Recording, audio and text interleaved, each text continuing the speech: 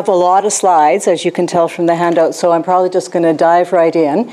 I, um, I'm calling it Dotted or Horse Spotted Adventures in Pragmatics, and the reason is that um, Pat and I were talking about the need for a snappy title to engage people, uh, and I thought this might get some attention. Um, and also because dotted or horse spotted is an example of the utterances that I sometimes run into in my work. And it's also an example of why I called it Adventures in Pragmatics, because um, my work is a lot of fun and I run into things that are amusing and fun to deal with all the time. So, um, so moving right along. Probably everyone who comes to this speaker series starts off with a slide like this that talks about the uh, two major areas of symptoms or the two defining criteria for autism spectrum disorders, and you'll notice that they are you know, difficulties in social communication and the presence of repetitive or stereotype behaviors. And everybody also knows that those um, symptoms can vary hugely from um, in the communication area from not having any conventional mode of communication to people who speak a lot and who speak in well-formed sentences. So the variability is, is immense and they can vary not only from person to person, but in the same child or the same person over a period of time. So somebody can start off with a lot of symptoms and emerge to being somebody who has very, very few symptoms much later on. So the, the amount of variation in how symptoms are expressed is quite large. Um, also, contrary to what we used to think, autism spectrum disorders is a very common phenomenon. So it happens, you know, the current prevalence estimate is 1 in 68, so it happens quite, quite frequently, and people are coping with this as a disability um, more and more frequently. Um, so the next thing is, you know, what is this social communication that people talk about as, you know, if this is a central problem in autism spectrum disorders, what is it? And, and what do I mean by, by pragmatics? So I'll give you some definitions in a bit, but I thought the best way to begin was actually to give you an example. Now, I don't think very many of you have heard me speak before, which is good because I always use the same example. Um, and it's an example that I think really illustrates what pragmatic disability is or pragmatic dysfunction probably better than any definition. So I call it Bob's joke. And it, it, this happened several years ago when I was uh, working with Kathy Lord in Edmonton, and we were running social groups in the summer.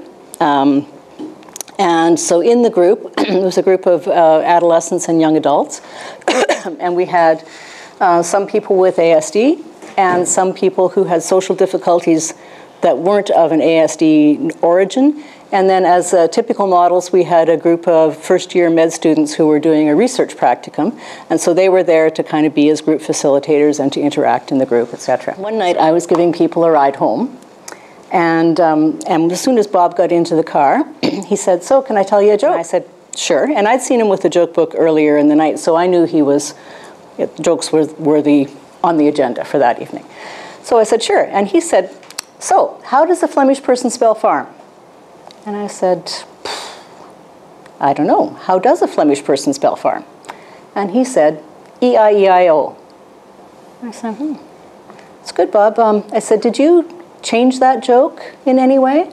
And he said, yeah, he had. And, and here's the reason why he changed that joke. Because one of the med students had seen him telling joke after joke after joke in the evening, and, um, and had gone up to him and said, you know, Bob, when you're, when you're telling jokes, you have to be careful because people of certain racial origins or ethnic origins or geographical origins, if they're the target of the joke, they may become offended. And so you have to be careful about how you tell jokes and to whom you tell jokes because you don't want to hurt people's feelings. So Bob had changed the joke from the, its original form to a, an ethnic group that he didn't think was represented in the room and probably not largely in Canada. So how does a Flemish person spell farm?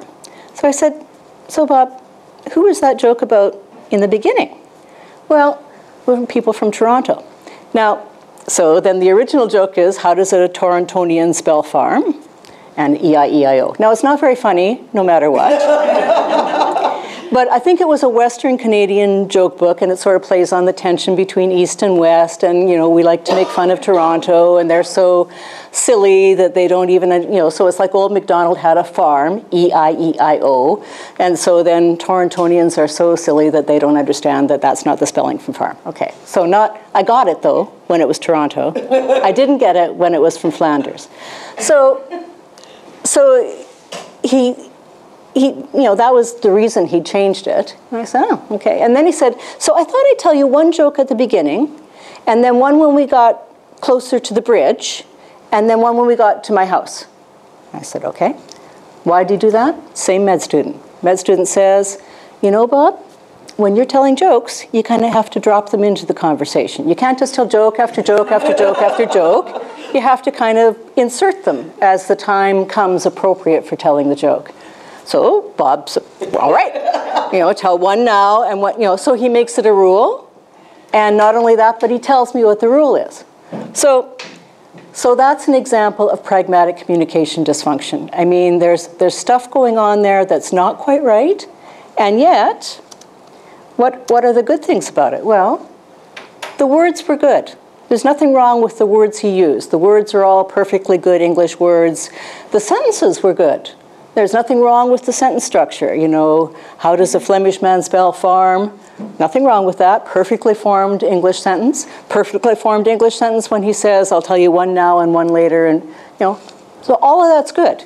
Even, even more important was he wanted to establish social contact. He's not trying to avoid being social. He wants in. He wants to be part of this group. And he's, he knows that jokes are a way to establish contact so he's using what we all use as a way to get into conversations, and he's trying to do his best to adhere to social conventions, which is what the med student has told him to do. You know, do it now, do it, now. So there are a lot of things that are good about it, and, and one of the things that I sort of want you to take note of is that this notion about the words, excuse me, and the sentence structure, that, you know, his, his sort of basics of language, his structural language, they're all fine. But what's, what's wrong, and what's quite dramatically wrong, is the way he uses language in his conversation. It's not, it's not working for him. So the things that are, that are not working in, in this interaction are that he didn't really understand the joke, because he wouldn't have changed it that way if he did. Um, he didn't really understand how to link the joke to a topic. He didn't understand how to introduce a topic. He didn't understand how to intersperse different changes in topic as the flow of conversation. So there's a lot of things that weren't working very well, and yet they're not the things that we think of most often when we think about what's language like. Okay? So, so in essence, that's pragmatics. So now then, here I'm talking about pragmatics, but is that the same thing as social communication? Um, and I, I take the position that it, it largely is but that's a matter of some debate. Um, and the answer really, I think, at least part of the answer, depends on your definition of pragmatics.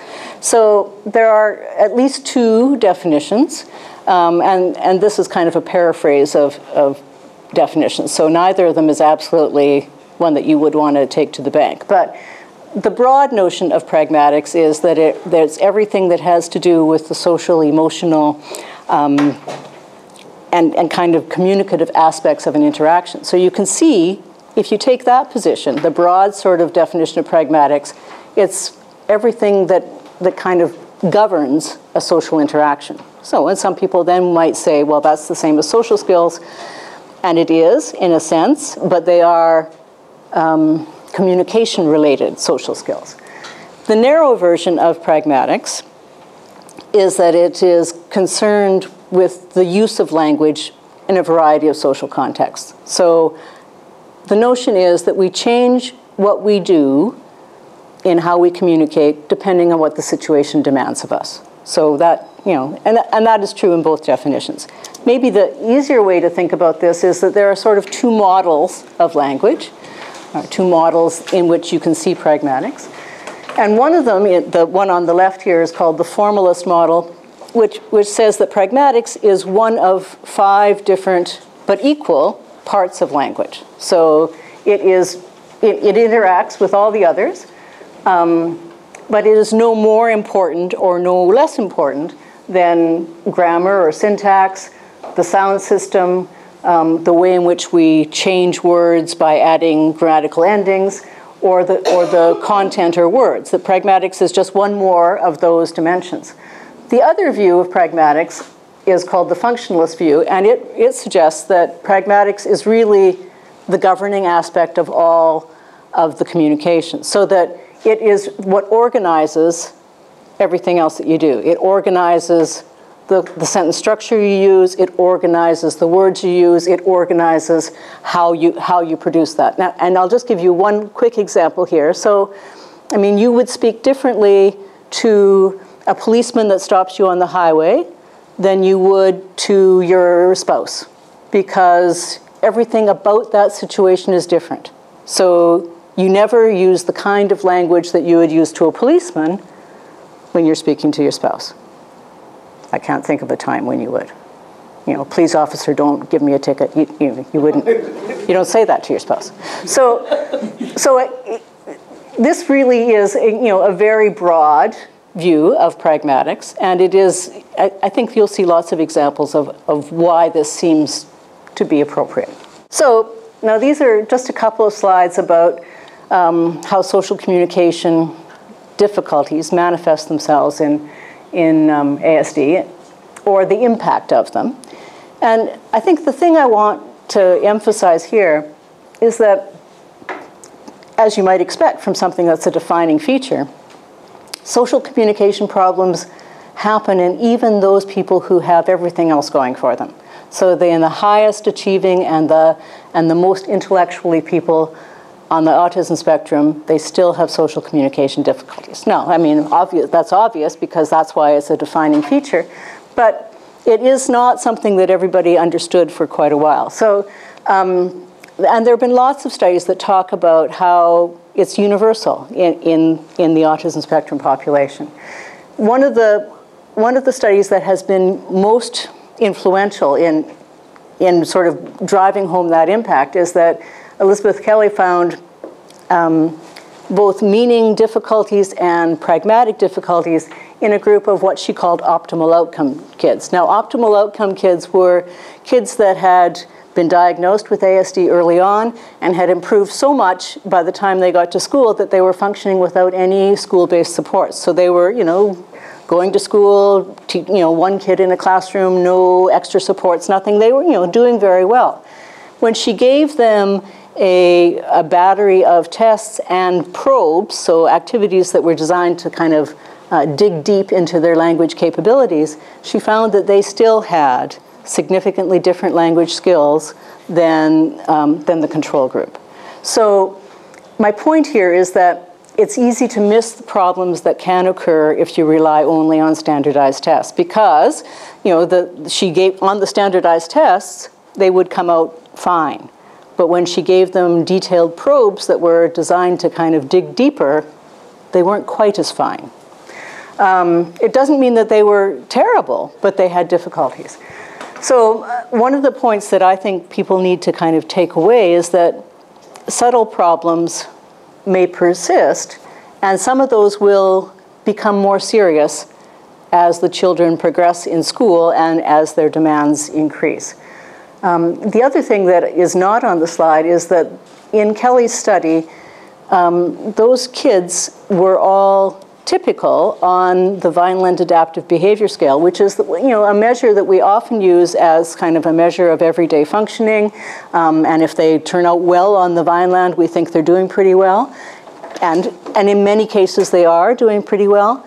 You know, Kelley's point was that even then, even when they're scoring within normal limits on the Vineland, they may not be doing quite as well as we would like them to be in terms of their communication. Um, so, and this is a couple of slides, this one and the next one to talk about the impact. I'm just trying to convince you here that communication is important. Um, so you, you need, you know, the more competent you are, the better off you are in terms of friendships and academic work and getting a job and, you know, having conversations, all that stuff. That's you know, that's just on the slide. That's easy. You can read that. So let me talk a little more about what exactly pragmatic problems look like. So these are the kinds of descriptors that were applied to the communication of people with ASD, even from very early on. So Kanner in 46 said, their language seems peculiar, out of place. It seems um, irrelevant. Okay? It's, you know, Rutter says in 65, it's formal. It, it feels like it doesn't have, they don't have a, they don't feel comfortable with the way in which they're using words. Um, another study by in 75 what, you know, talks about language being stereotypic, inappropriate, and then in um, 78 about it being metaphorical. Now, for, when you hear the example from Bob's joke and some of the other examples I'm going to, to give you, you can, you can sort of see why those terms apply. I mean, they, they will resonate a bit with you. You'll think, oh, yeah, that is kind of what that language sounds like. But the terms themselves are very vague. I mean, you can't, you can't hang much on a term like metaphorical or irrelevant. It's very hard to classify and they're very hard to quantify. And that's been the bedeviling factor through many years of research. It's very hard to really get a handle on exactly what's going on with these kids. But it's what I've spent you know, 20 years or so trying to figure out. And just so you know, I don't have an answer. But, but it, you know, we, do, we do know more than we used to about what, what the, their language is like. But you can see why people would want to describe it this way. It's unusual and yet unusual in a way that's difficult to describe. So what types of problems? Well, there almost any kind of pragmatic problem. And I haven't gone into what are the different elements of pragmatics yet, and I will in a bit. But just, you know, if you even take the, the example from Bob's joke, you can see that initiating conversation, I mean, just sort of launching in to say, um, I'm going to tell you one now and one later and one when I get home, that those are something not quite right about that. Uh, introducing topics, developing topics, switching topics, um, knowing how to introduce unusual topics or interrupting conversations, all of those are skills that that may well be impaired, and, and there have been a number of studies that talk about there being specific deficits in any number of those. So in almost any area of pragmatics that you could end up naming, you will find that children and adults with ASD um, are different than their, their control group. Um, but even so, just knowing they're different hasn't been entirely enough. The story isn't entirely straightforward here. So we would like to be able to say, oh, well, they're just different in pragmatics and that's that. But it's not quite as clear as that. So I'm going to give you an example from a study we, we did in 91. It's amazing how fast time flies. This doesn't feel so old to me, but it is quite a while back.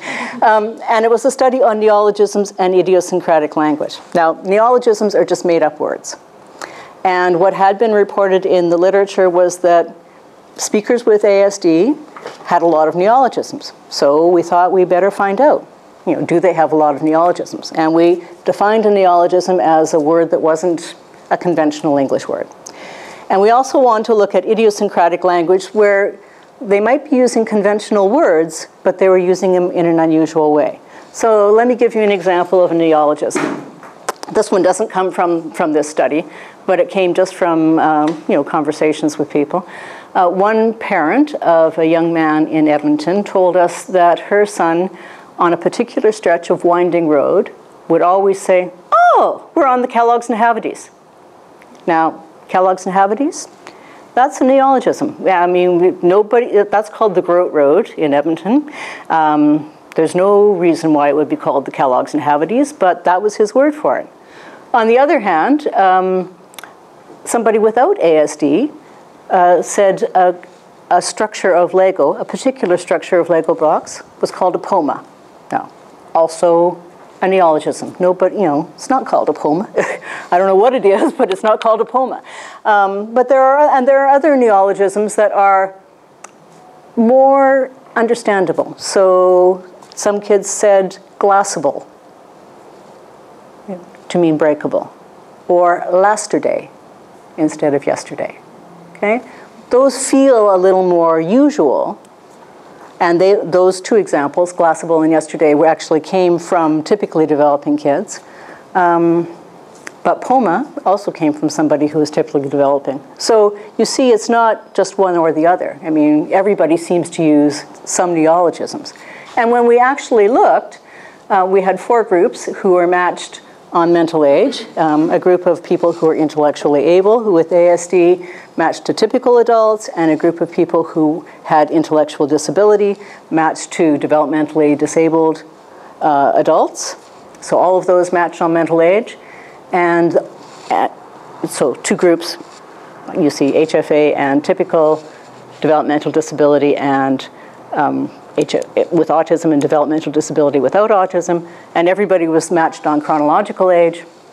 Uh, and we looked at their language samples from the ADOS. People here are probably familiar with the ADOS, Autism Diagnostic Observation Schedule. It has a, it's a semi-structured instrument that uh, is used for diagnosis. Uh, so, and there are a number of opportunities where you would collect language samples. So we looked at all of those, and we found there are very few true neologisms. So despite what had been commonly reported anecdotally in the literature, in the same way as we had reports of irrelevant and metaphorical, et cetera, et cetera, we had reports of neologisms. Despite that, there were very few. And there were no significant group differences in frequency on average. So if you looked at the average number of neologisms in the, in the groups with ASD versus the average number of neologisms in the group that was the control group, there was no difference in frequency. So no, no difference in the average number. But we did find that more of the participants in the ASD group used at least one neologism than the people in the control group. So it was um, more widespread, but still very infrequent. So one of the take-home messages is that this kind, you know, the kinds of disabilities that you would see in language and communication can be quite infrequent, but can cause quite an impact. So they can be very salient. So we, we think they're salient because that's what was reported in the literature. They have neologisms. But in fact, they don't have a ton of neologisms, but more of them will have maybe one or two than you would find anywhere else. So it doesn't, it may not happen very frequently, but when it does, people notice. So and this, this notion is now much more well accepted that a relatively small amount of atypical behavior can have a large impact on listeners. And so other people have talked about that as well. And I'll talk about that again toward the end of the presentation. So it doesn't have to happen all that often. But when it is unusual, it draws attention to itself. And my contention is that when it draws attention to itself, that attention is not favorable. Mostly that's negative attention. People are surprised, shocked, bemused, wary um, when you have somebody who communicates atypically. Um, and they don't seek you out for conversations and friendships and all of those things. It just, you know, they start off with the strike against them because of the way in which they're communicating one more thing, that this notion is that un unusual features were present in both groups. That, you know, it wasn't just the people with ASD who did the unusual thing. But there's something about the, about the way in which it gets done in the group with ASD that is different enough to cause the negative reaction. So one possibility might be that um, it is it is very different, so that somehow the quality of the difference is enough to cause the negative reaction. So, for example, saying Kellogg's Nahavides is more unusual than saying glassable. You know, you, you, might you might look at somebody who says it's glassable and just think, isn't that cute? It's a bit different. But you wouldn't look at somebody who's saying Kellogg's Nahavides as that's cute. You think that's unusual. Okay, the other thing, I mean, and we're still not to the specific parts of, of pragmatics, I'm going to get there, um, is that all of these things are incredibly variable. Now, you know, I said that at the beginning, um, but with regard to pragmatics, there is no single area of pragmatics that is always uh, different or uh, disordered in, in a particular sample of children or in a particular individual. So we've never been able to find, even though we will find some kind of pragmatic disability in every person with ASD, we won't find a particular kind of pragmatic disability in every person with ASD. and even when you find a particular kind, it's not generally true that it's entirely absent. So it's not as if they can't ever introduce topics appropriately. When they have trouble introducing topics, that appears to happen sporadically. Now, what that means to me is that they have skills, but they don't seem to have a good idea of how to use those skills. So I think that that, you know, in the long run, I think that has implications for intervention because we would be wanting to focus, instead of teaching new skills, on teaching how to use the skills they've already got. Anyway, all in all, in group studies, we find that you take a particular area of pragmatics, you know, a group of kids with ASD will perform less well than match controls, um, but there'll be a lot of variability in the group. And anybody who's worked with, with people with ASD will know that that's true. So, so why did we do all this research? Well, because we still wanted to be sure that we, that we were indeed finding this kind of variability. And because I think I hoped that we were going to find a thing. But this was the arrogance of being young and thinking that you could actually find a solution. Um, so finally, these are, these are what, this is the model of what I use as the elements of pragmatics. So I think of it as, as two broad areas. Some people think of it as 17, some people think of it as three, but I use this kind of model. Um, and, and first of them is communicative or speech acts. Now, a communication act or a speech act is the particular purpose of, that you're trying to accomplish in an utterance. So for example, if I say, um, is, it, is it cold in here? Then people might say, might choose to shut the window. You know, because I, at that point I'm expressing an indirect request. I could do the same thing by saying, close the window. I could do the same thing by saying, who opened the window? I, you know, I could do the same thing by, by a number of, of different utterances, but the function, what I'm trying to accomplish is to get the window closed. Okay? So communication acts are the individual purposes that you're trying to accomplish. So things like requesting, commenting, establishing social contact, protesting, um, those are sort of early ones. Later on, we learn things like persuading. So a persuading act is a, a, different kind of function. But these are the particular purposes that you're trying to accomplish.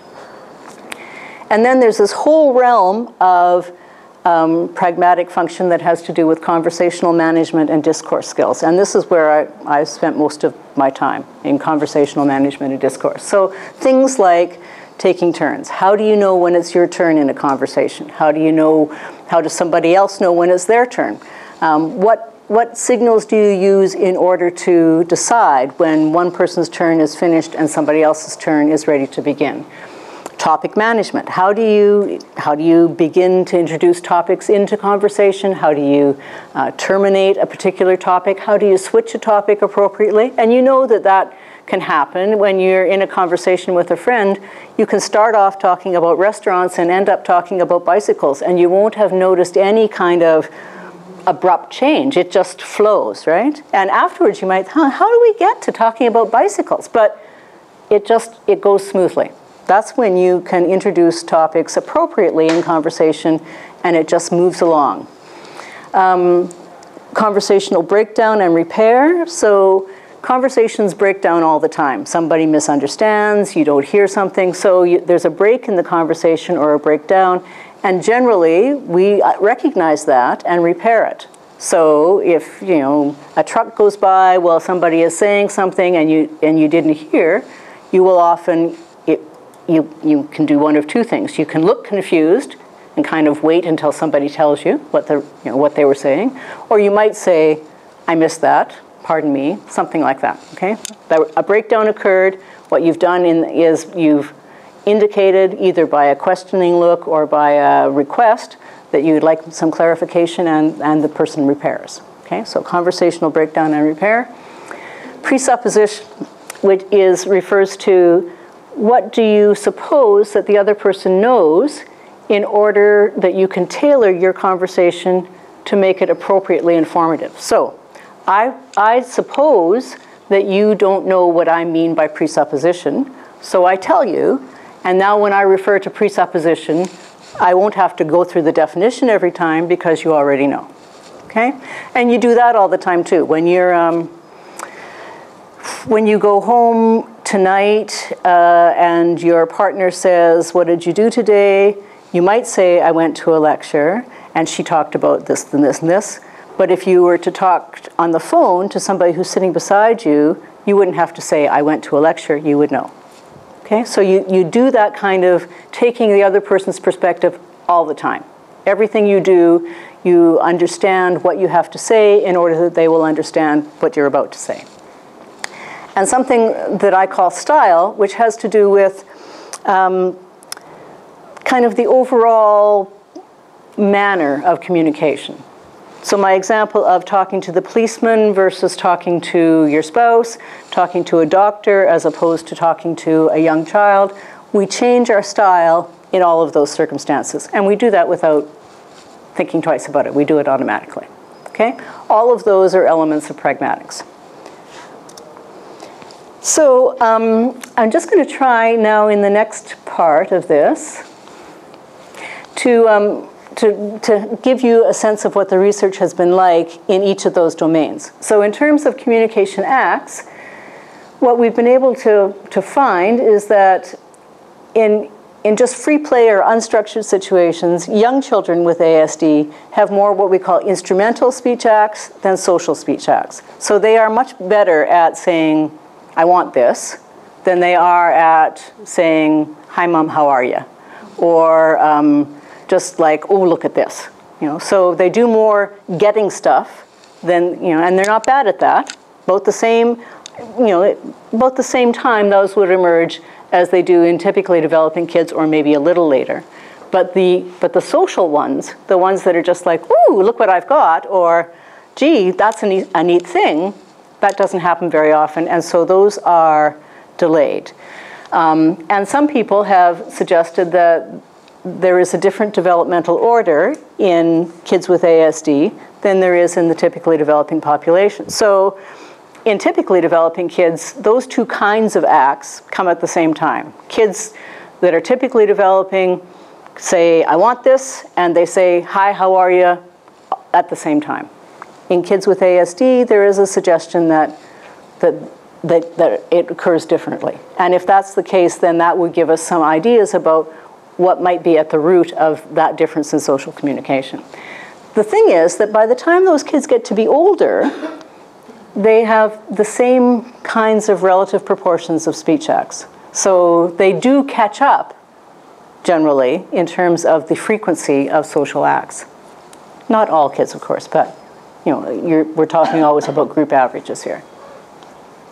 So it, that delay doesn't necessarily persist, which is a good thing. In terms of conversational management and discourse, we have you know, a variety of studies, and a lot of work has, has gone into this, but there have been a lot of difficulties in the research. So uh, we've had a lot of small sample research, and a lot of my research is small samples. It's hard to find people that are willing to participate, who have sort of the requisite kind of skills in order to be able to do the kinds of things you want them to do, et cetera. So you don't often find a large number of people in a given committee, and community, and that's why the pathway study that both Pat and I are involved in, which is a multi-site study, has been so useful because we can finally get enough people to to get a, a, critical mass that you can actually hopefully draw some conclusions from.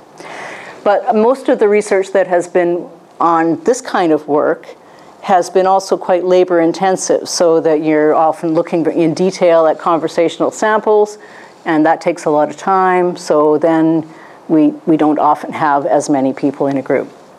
Sometimes people have not used a control group, which makes it very hard to make any conclusion about how something is fundamentally different from the typically developing population.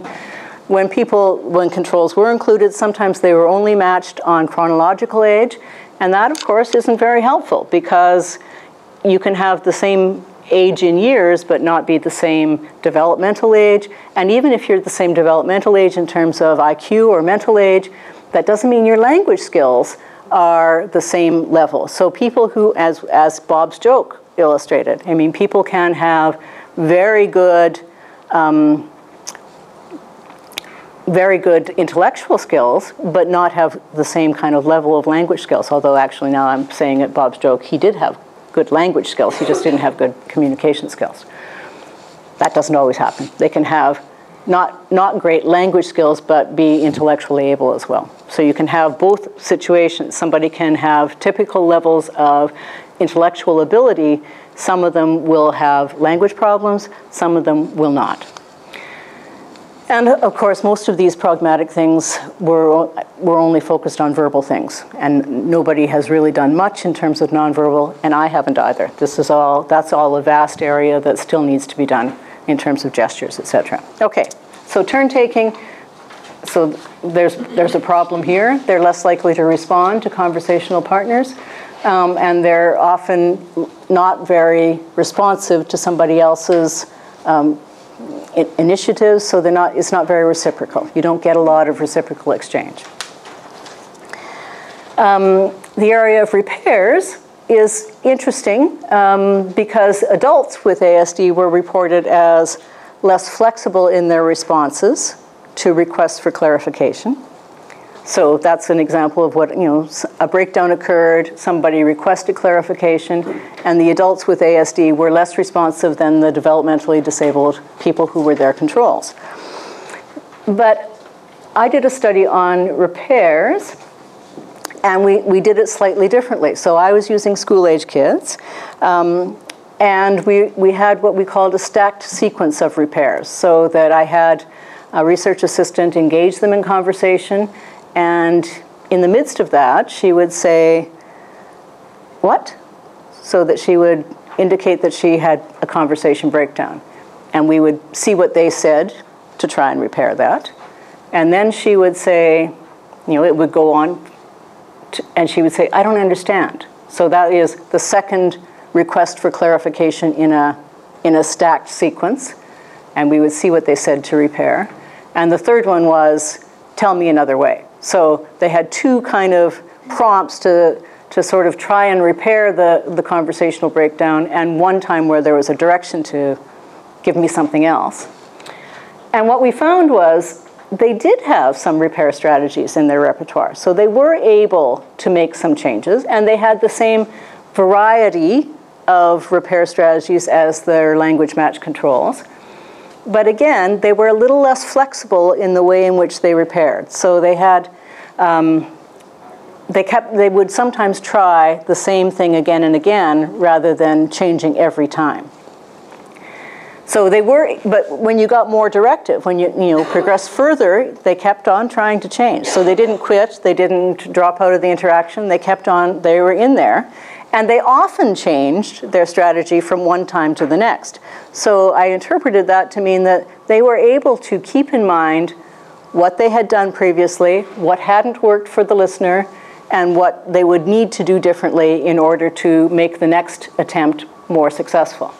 So I interpreted that as that they had some degree of perspective taking. And, and the reason that that's important is that many people have suggested that they can't take other people's perspective. And in my work, admittedly, all with intellectually able individuals, and that's because I'm interested in these kind of sophisticated language skills that you have to have enough language to be able to be that kind of sophisticated.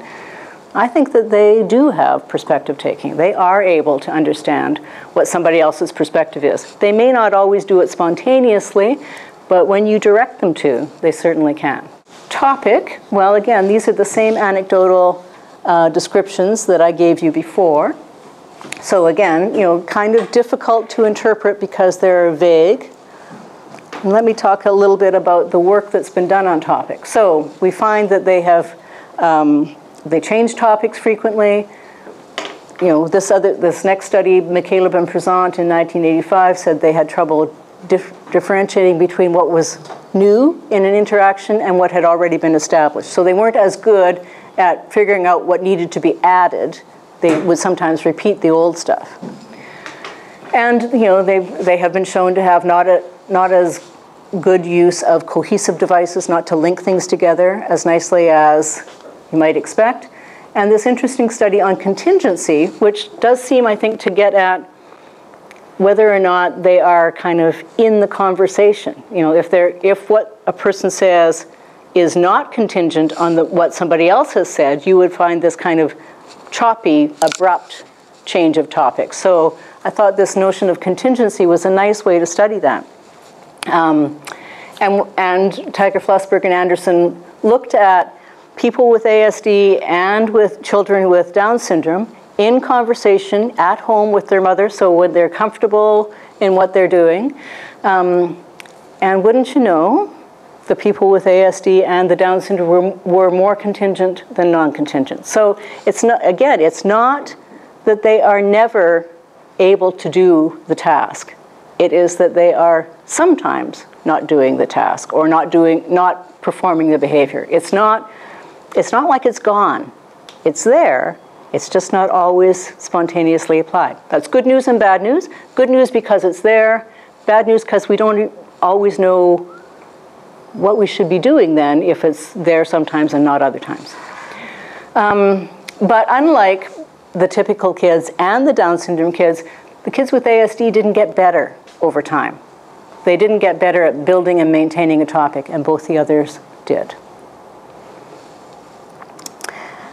Um, so here are some examples of, and the same thing happened. So Tager-Flusberg and Anderson were doing this with very young kids, preschoolers, at home. Capps and her colleagues did this with um, kids in school. Um, and they were, you know, the kids with ASD were able to engage in a conversation, willing to engage in dialogue, but they weren't very sophisticated. They were kind of primitive, developmentally primitive, um, in the way in which they continued a topic. So when the examiner said, Do you like Cracker Jacks? I like Cracker Jacks. The child said, I like Cracker Jacks. Do you like Cracker Jacks? And then goes to, What's your name? So not kind of able to build on the conversation kind of goes back to tried and true methods of engaging people, which is, oh, like, what's your name? A young, a young girl I once worked with said, uh, would, would compliment me on my apparel. You know, I like your pants, I like your dress, you know, because those were tried and true. They were a way to kind of get into a conversation. They had worked well before, kind of a, the same old strategy, but was no longer appropriate in, in the different situation. So she replies with what's her name, and then the child goes back to, I like Cracker, Neck, Cracker Jacks, what's your name? So kind of just not able to move on, not, not building. And now we, we have the same pattern that's found in, in narratives, where um, the telling of narratives often seems to be more like just reciting a list of things that occurred rather than really telling a story. So what we, were, what we wanted to do then was, was see if we could find what the source of what these kind of abrupt topic changes was or these irrelevant, um, inappropriate remarks because we, we noticed them. You know, in, in all of my work, I've noticed that they have these irrelevant, inappropriate remarks. But sometimes it's been more of a, as a side effect of what I was really studying rather than a, a study that really focused on irrelevant and inappropriate remarks. And these are just examples. So in a task where they were asked to describe a geometric shape, they said, Did you know that a zebra is something like a horse? Now, I, I think most people would think that's irrelevant. Um, and that's where it's dotted or horse spotted came along. Okay? And they're describing a geometric shape, has dots, but horse spotted? You know, I, and I, to be fair, I think that probably, I think that this was the same child so he was on to zebras and horse-like animals. Um, and then one came along that was dotted, so then it could be horse-spotted. But you got to admit, it's not typical. I mean, people, that's not what people usually say. And then another one said, the shape on the left has dots, the one on the right has been cut. Well, it had stripes. Stripes were red, but cut. So you can see that most of those, I mean, you can, you can explain it, but it's not, the, the fact that you can make that connection is not as relevant as the fact that they feel comfortable saying it in that situation and it's unusual in that situation.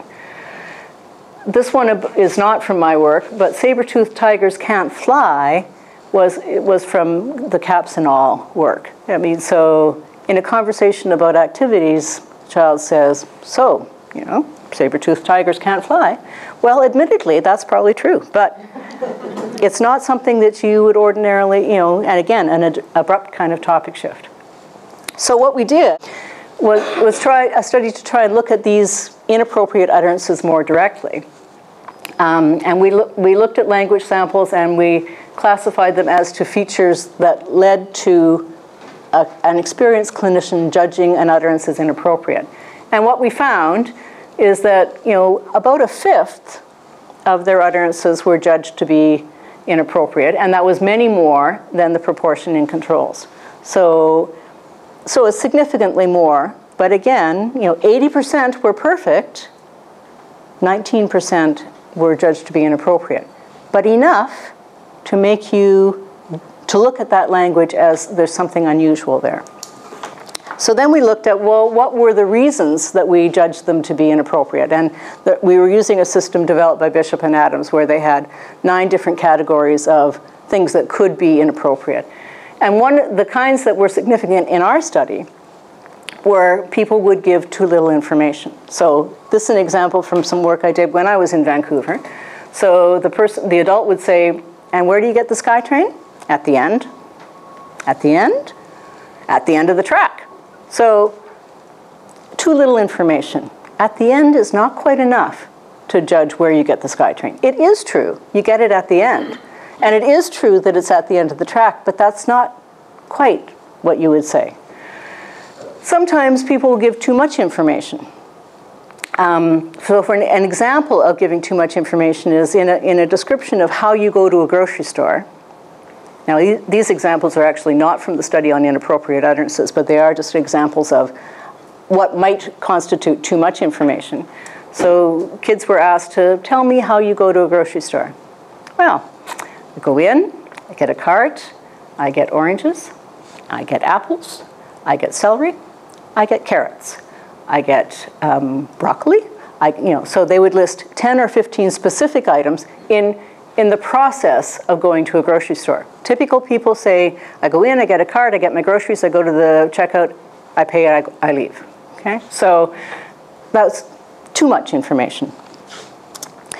And the third one is the one that I was most intrigued by, so where, where it was unusual style kinds of things.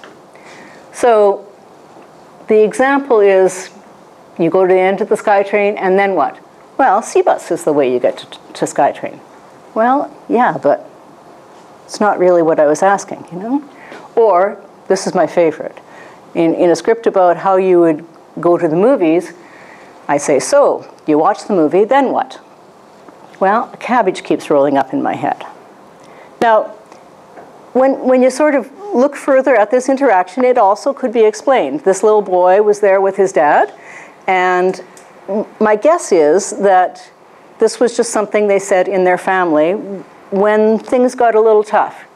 Because we all have that kind of stuff about your, in your family. In your family, you all say things that make sense in your family, but don't necessarily make sense anywhere else. For me, my dad had a, an expression about a picnic spot he once found that he called the Sylvan Dell. You know, my dad was a farmer, so not very poetic. This was something we remembered when he said, oh, let's go to the Sylvan Dell for a picnic. Okay, so if I, you know, now I tell you that and you probably think, what a weird thing to say. In our family, that was just, a, you know, just what we said. So in this family, whenever this little boy got confused, they would say, have you got a cabbage in your head? and sure enough, the dad was in, in this situation so as soon as the, as the little boy said, a cabbage keeps rolling up in my head, the dad said, have you got cabbages in your head? And I thought, what are the two of you doing talking about cabbages? But in fact, of course, you can sort of see if a cabbage is filling your head, obviously you don't have room for much else, and so then no wonder a cabbage is in your head. But my, eh, the thing is, you can say that in your family, and everybody knows what you mean. But you can't really say that everywhere else because it doesn't work everywhere else. And most kids would know. I, I knew that I couldn't say the Sylvan Dell to other people because they wouldn't know what it was. He should, he has to know that he can't say cabbages every time and expect that people will know. Okay, so um, so what we did then, well, this is this is just to say that there are other people have tried to study this. We haven't done a tremendous job, but we do think that there's definitely almost always some problem with with topic. So this is a nice study by Adams where, where she looked at how well utterances were meshed, very similar to the contingency study, and found that, that high functioning people with ASD, in this, she was calling them Asperger's at this point, um, they were mu much less well meshed than their controls. The only difficulty with this work, which is very nice work, is that it's very hard to do because it, so there's a lot of variability in what we would judge as well meshed versus not well meshed. So it's, you know, it's a huge, it's a very laborious system in order to make sure you're reliable. But she did it, and, um, and, I, and I think that it's one of the best studies we have to show that they're not really able to mesh their utterances as, as we would expect them to. But most of the time, nobody's replicated it because it's just too labor intensive to actually get reliability on. Um, but Paul et al. has also found some of this using a new instrument called the pragmatic rating scale, and she's found that there are a number of, that adolescents, in fact, um, provided irrelevant detail, made it inappropriate topic shifts. That kind of thing has been, has been well documented.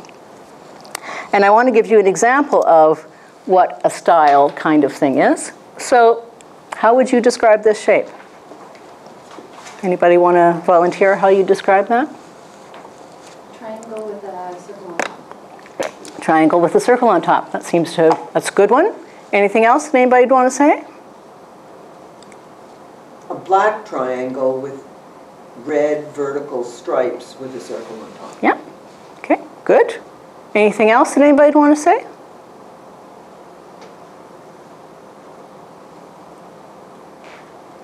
Okay, well, I mean, th those are fine.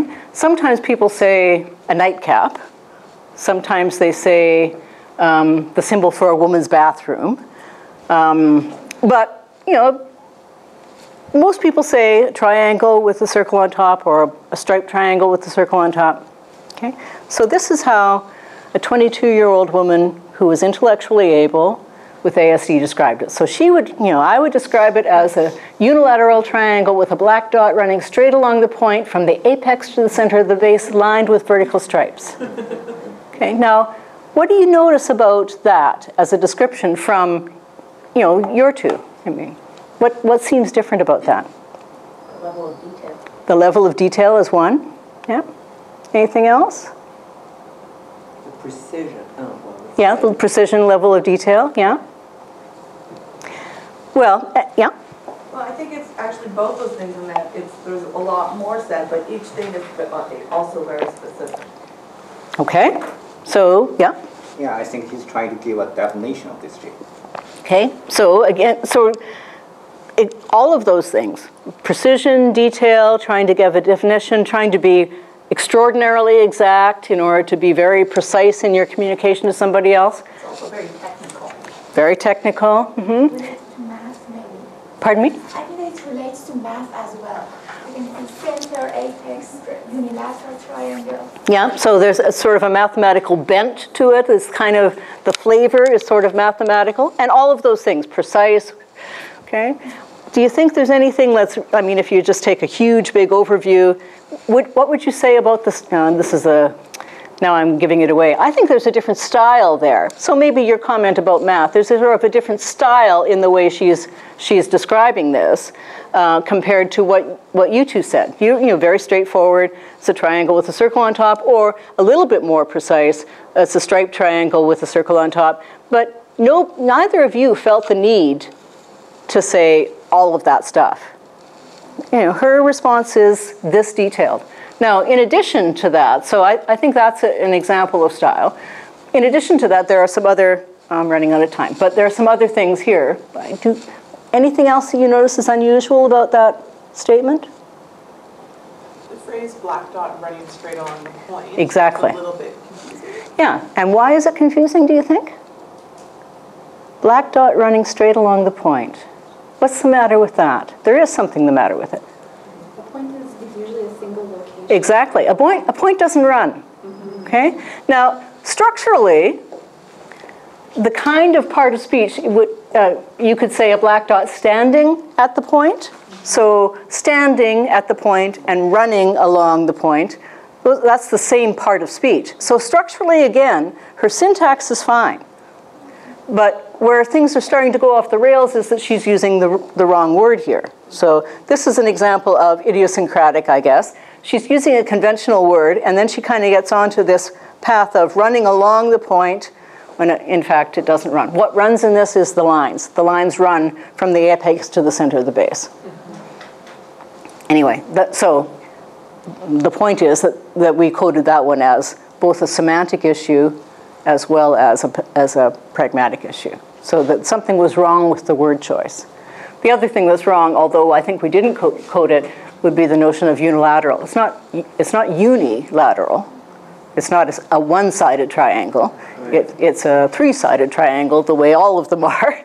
And you know, she might have thought it was equilateral. She might have, you know, that could just be misspeaking. Okay, so, um, so then we did a study about conversational style. And again, it's the whole notion that you can have um, utterances that are sort of unusual, not necessarily all that frequent. But what we wanted to find out was um, whether or not these these were, you know, the, this was my idea. and could- Maybe this is what's really wrong. You know, maybe we're always having these differences in style. Um, so I was looking then at language register, and different reg- registers are that example that I was giving you about if you say to a policeman, you, you speak differently to a policeman than you, than you speak to your spouse. So different registers reflect who the speaker is addressing, where he or she is, what the social event is, what topics are appropriate, and the social relationships between the speakers. And you do this without a second thought. You, you just, you know, if you're meeting the Queen tomorrow, even if you were a devoted Republican and you didn't believe in the monarchy, you would still say something very polite to the Queen. I mean, hardly ever would people be rude to the Queen. Um, but you would easily be rude to your spouse. Yeah. Sometimes, not always. Okay, so what we did was we asked people, uh, school age children and adolescents, um, to explain how to go to a restaurant, how to go to a movie, and how to go to how to go grocery shopping um, to listeners who had differing levels of, of what we called competence. So the idea was that you would speak differently to people who understood you differently. And so we wanted to have differing levels of competence to see whether or not they would adjust their register. And the, the kinds of registers that people always use are you speak to adults differently than you speak to children. So, and we speak more simply to kids. So we wanted to see whether they would explain how to, how to do those things, those common events, to somebody who was a child and to somebody whose first language was not English. So the notion was they would automatically adjust if they understood the property of register. And then we also gave them prompts in subsequent explanations to, to, to try and see whether or not they could change when you gave them a prompt. So um, if, if they, the, the level to the, the baby, we would say, you know, she didn't quite get it. Can you, can you do it again and say it more simply? Okay. So we were actually giving them injections. So what we found, now this, this is a long, complicated slide, and, and again, the, the, the way you can summarize these results is they acted sometimes like their control group and sometimes they didn't. Um, they had some sensitivity to the needs of less competent speakers because they did simplify their, their narrative or their script a little bit. Uh, they had, you know, they, they changed the level of uh, number of acts, number of elements to the script, and they used fewer utterances when they were speaking to somebody who was less competent. But they were less skilled at that adjustment than the typically developing controls. And these were all matched on language and, and chronological age. Um, but when they were prompted, they got better. So when they when you, uh, like the, like the repair study, when you gave them instructions or prompts or, and even indirect prompts, they, they were better at being more precise and more communicative. So even though the first prompt was, she didn't quite, can you try it again, because she didn't quite get it, they still, they still adjusted and made changes. And then when you were more directive, they made more changes. So results that paralleled the, the repair study we found in the register. And, and again, I'm saying that it, it really highlights this notion that skills might well be present, but not necessarily used, and that our job clinically is to find a way to teach people how to use them, not always necessarily to teach the thing itself. Okay? I just want to finish off by, by telling a little bit about a study that one of my doctoral students has just completed, and it's so fun that I just couldn't leave it out. Um, she was looking at language in adults with ASD, and I, I think that, you know, as our field has progressed, we have begun to realize that we can't just concentrate on kids because all these kids are growing up, and you know now we have adults. eh, Not that we didn't always, but now we're paying attention to adults as they enter the workforce and try and go about their lives. So. We don't have very much good information about the communication skills of adults, and what Wendy wanted to do was was look at adults with ASD and see what their communication was like. So we, we picked 20 adults with ASD, matched them to 20 typical uh, young adults, um, and on their chronological age, their nonverbal mental age, and the amount of education they'd had. Um, and we did a bunch of, she did a bunch of tests and, um, and analyzed a language sample, which not very many people have done with this population. And what we found was, yes, that the formal test of pragmatic skills, so the comprehensive assessment of spoken language, does have a couple of subtests that deal with pragmatic skills. And on that test, they, were, they, they performed worse than the control group. But if you just looked at the score, the mean was still within normal limits. So, it, so they, were, they were not as good as their control group, but they still scored on the test in a way that you wouldn't have any alarm about if you got that score. You'd think, oh well, so it's not not like right up at the at the average score, but it's not bad. So nobody would say if you were looking for a communication problem that they had any problem if you looked at the formal test. This communication checklist for adults, which is something you use when you're um, you give it to family members. If it's an adult, you can't always give it to their parents because you may not have access to the parents, but you give it to somebody who knows them really well, and they answer 70 questions about does the person always do this, or does the person sometimes do this, or, you know, so just they have to check off whether the person exhibits this behavior or that. So the, the CCA did identify problems in this group. So my contention is that it is a more sensitive instrument than the, the CASL. The CASL, though, was lower than their scores on, on the structural language measure. So when we gave them a traditional test about language grammar and, and vocabulary, they were better than they were on the, on the CASL. So some of the work is now suggesting that even on a formal test, when the formal test for pragmatics is lower than the test on structure, that you would look, look to see whether there are issues.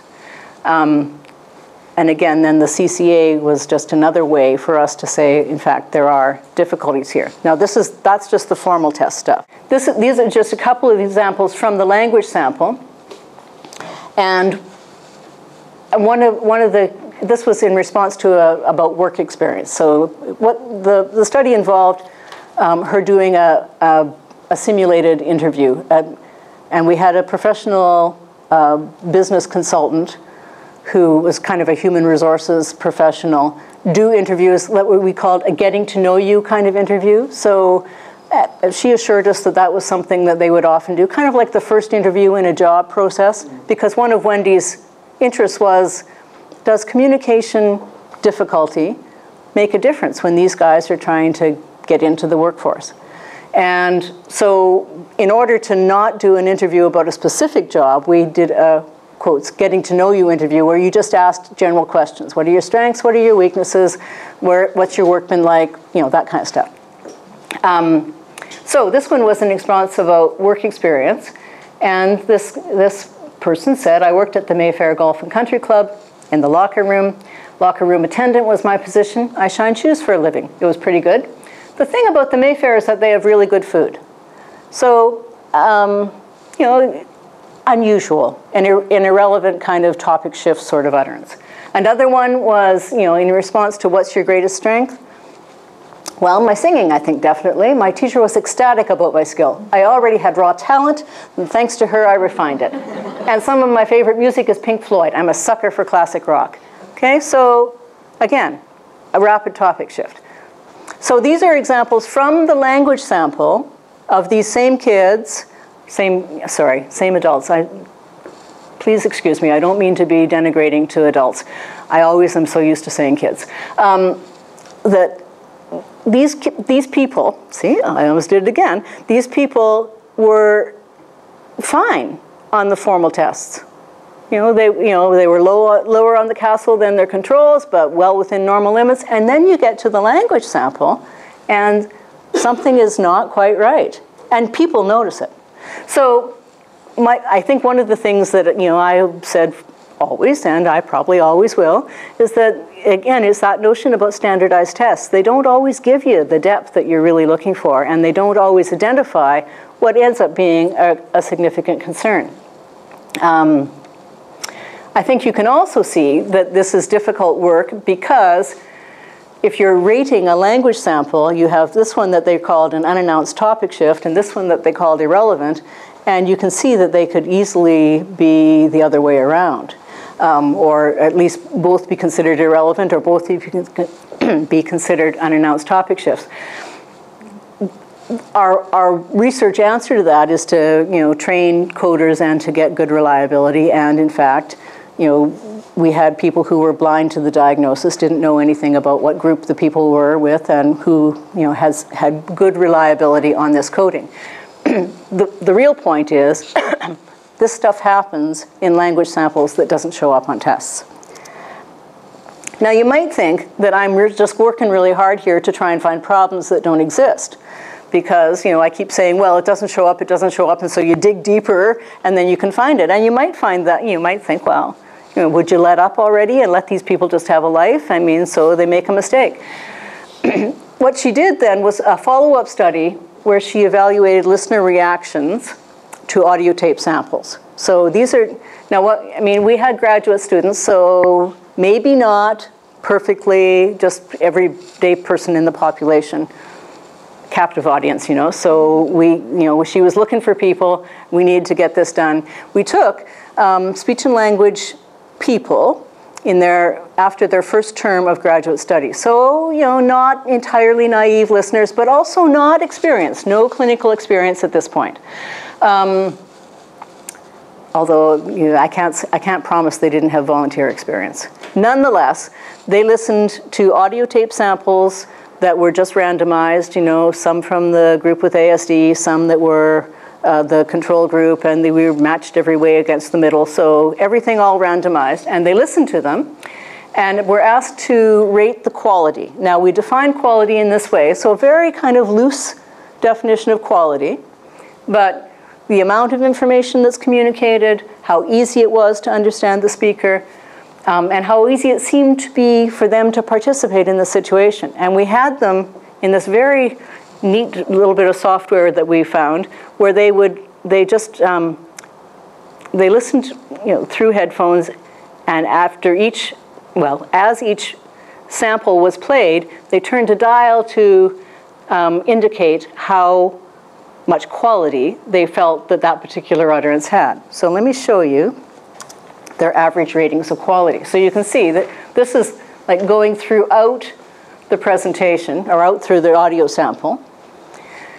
And this, this graph is actually you know, averaged against all, all the, everybody. This is the final result. But on an individual sample, this would be, this is as the time is going by, and the ratings of quality are from zero to 100. And we, you know, 100 is obviously great quality, and zero is terrible quality. And they don't have terrible quality, but you can see these two lines, these tracings, they don't overlap. So the, the very, it's very clear that the average rating of quality by these listeners was that the quality overall of the group with HFA, or the group with ASD, was much, uh, much different. Okay? Now, also after each sample, so, you know, they had a little sample and they rated the quality, and after each one, they were asked to rate on a seven point scale. They had to answer a questionnaire. What aspects of their communication that you listened to influenced how you rated the quality? And so we had questions that were, you know, was it the, was it the words they used? Was it the sentence structure? What was it?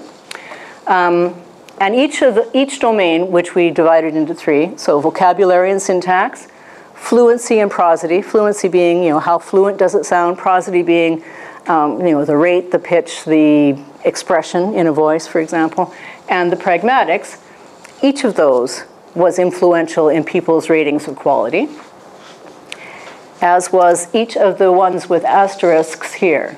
So you can see these are the control group ratings, and these are the ASD ratings. Um, and one of the things you'll notice is that, you know, the, the, in all of these graphs, there are three of them, um, the, there's a lot more variability in rating the people with ASD. And, but there were significant differences in utterances that were considered vague, significant differences in the number of unusual words, and significant differences in grammatical errors. So when people were asked questions that were designed to get at um, the vagueness of words, the, uh, the unusualness of words, and whether or not there are grammatical errors, they found that there were significant differences between the ASD and the control group on those features, and those were influenced their ratings of quality. Okay? Not on the number of simple sentences, which was one possibility. You know, maybe they use more simple sentences. Not the case. Or at least not the case that that influenced so this is the fluency and prosody. Again, the same sort of pattern. Um, lots of variability in the, rate, in the way that the people with ASD were rated. Um, again, very, not very much concern about that or not, it didn't influence in the typical people very much. Um, but there were significant differences in voice quality and rate in pauses. So all of those features also influenced how they rated the samples with ASD. And finally, in pragmatics, so for these parts of pragmatics, formal, two, you know, utterances that were formal, utterances that had irrelevant detail, abrupt topic shift, repetitive topics, long responses, and limited responses, the same notion. Significant differences on every one of those between the group with ASD and the group that was typical. So the, the point there is that you know those features that are subtle, that don't show up on standardized tests, but that are readily uh, apparent in a language sample, are noticed by people in the everyday world and are reacted to. They have an influence on how people judge the quality of the people that they're speaking with. And finally, she asked each after each interview, she said, "So now if you were an employer, would you offer that person that you just listened to a second interview, the way that you do in a job search, or would you offer them a job? And fewer of the people with ASD would be offered a job. so, um, you know, certainly not all of the controls would be offered a job either, but 30% of the HFA group would be offered a second interview or a job, and 75% of the controls would have been offered a second interview or a job if the people who had been rating were an employer in that case. All, our only point there is these communication problems are indeed problems, and we need to find a way to either help the person be more functional in their communication, especially in certain situations, or we need to educate the population so that they are more ready to deal with these as problems because the mismatch between what they're producing and what people expect is enough to cause them problems in their life, and in this case, in whether or not they would, you know, it's, it's very rough, but it's an indication that they would have trouble in getting into the workforce.